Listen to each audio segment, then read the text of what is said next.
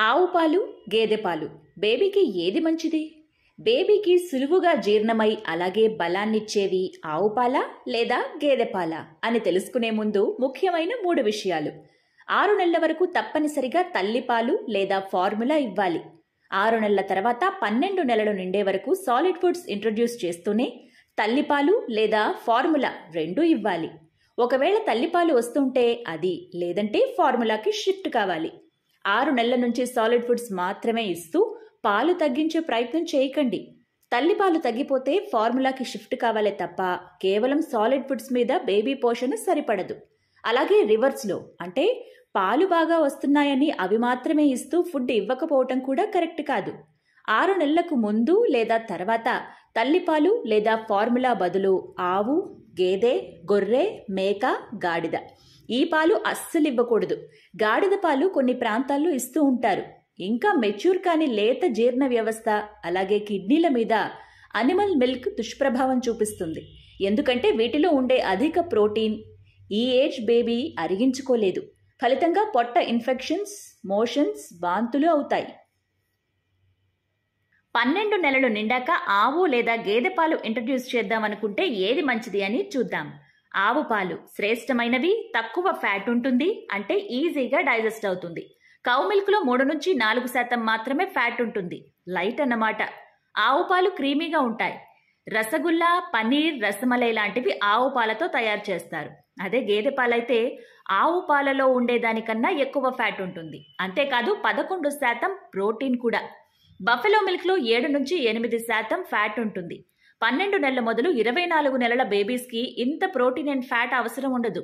Vegetable protein ఉదాహరణకు పప్పు కూరగాయల ప్రోటీన్ ఉదాహరణకు బీన్స్ లాంటివి కూడా ఇవ్వాలి. ఎగ్స్ అండ్ చికెన్ కూడా ఇవ్వచ్చు. పన్నెండు నెలల బేబీస్కి తల్లిపాలు లేదా ఫార్ములా నుంచి ఆవు పాలకు షిఫ్ట్ చేయటం కొంచెం ఇబ్బంది కదా? కొందరు బేబీస్ టక్కున అలవాటు పడితే మరికొందరు కారు. మొదట కొద్ది కొద్దిగా అలవాటు చేయాలి. తల్లిపాలలో ఆవు పాలు మిక్స్ చేసి లేదా ఫార్ములాలో ఆవు పాలు మిక్స్ చేసి ఇవ్వచ్చు. ఈ విధంగా నెమ్మదిగా ఆవు పాల క్వాంటిటీ పెంచుతూ పోవాలి.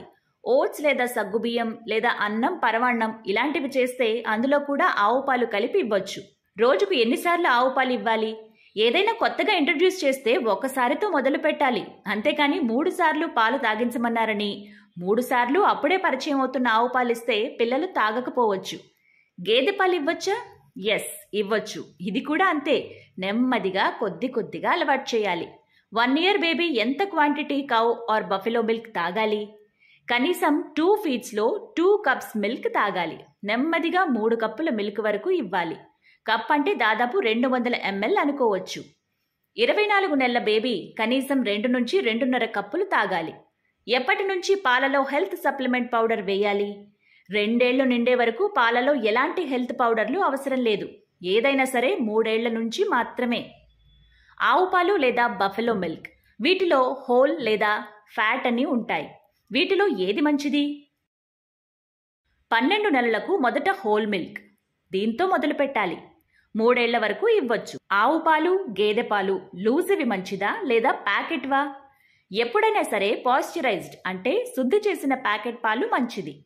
లూజ్ మిల్క్లో బ్యాక్టీరియా భయం ఉంటుంది. ఇక్కడే ఏవి మంచి బ్రాండ్ అనే ప్రశ్న కూడా వస్తుంది. Amul Mother Dairy Nestle Aavin Anik Nandini Dudh Sagar brand Chitale. ఇవి బెస్ట్ బ్రాండ్స్. వీటిలో బఫెలో మిల్క్ కూడా వస్తుంది.